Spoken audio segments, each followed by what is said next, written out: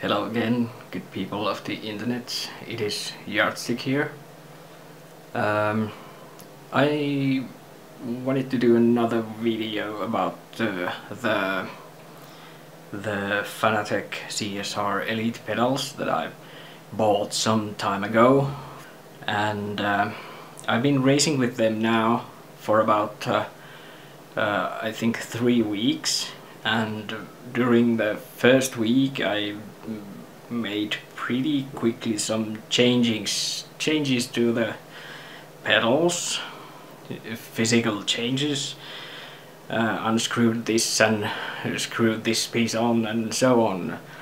Swapped quite a lot of things there.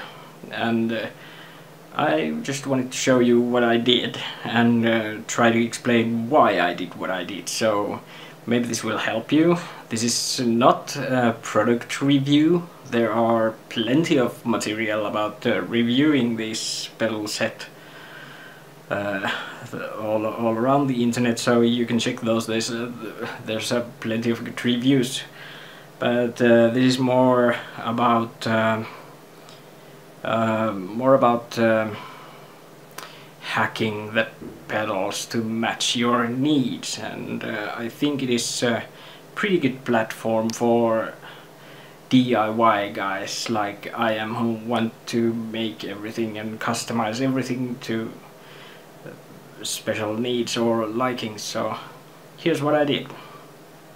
I've done some changes to the brake pedal and for the clutch pedal too. I want you to pay attention to these nuts here which are meant uh, meant for uh, changing the tension of this spring so you can make the accelerator stiffer by uh, tightening these uh, nuts here. I tried to take this uh, uh plastic block away from here but uh, it didn't feel too good and it didn't really change anything uh, so I put it back there. The clutch has gone through a little bit more changes. I have moved this attachment from the second hole to the third hole uh, just to make the throw of the pedal or the travel of the pedal a bit uh, shorter which is better for me. But uh, I ran into some inconveniences when I did that uh, and that was the the pedal was uh, the clutch pedal was pretty stiff right out of the box. It was stiffer than the brake pedal and uh, uh, I just I, I believe it was uh, worse than in real cars. It was uh, it was so stiff. It was uh, pretty much useless. So what I did was I took these nuts completely out of there. And it wasn't very easy task. I had to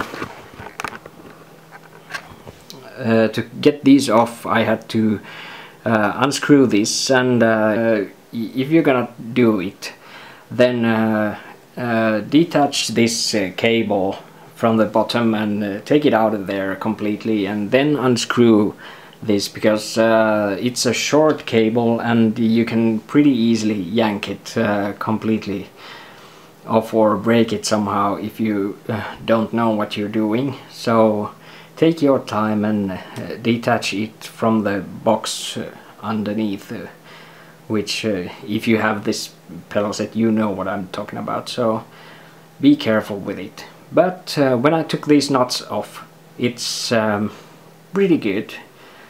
Nothing to complain about it uh, it works like it should and it's perfect for me now Okay, with the brake pedal I went a bit further with this uh, customization and I decided to uh, lift the pedal plate or what what do you call this uh, piece here.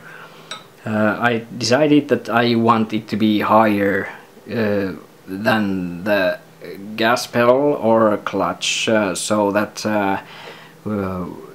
when I mm, brake with my right foot I can uh, still give a decent blip at the same time without uh, uh, accidentally accelerating too much or how I did it was uh, I bought just longer screws which you can he see here uh, and some uh, nuts and washers to create some kind of support for it.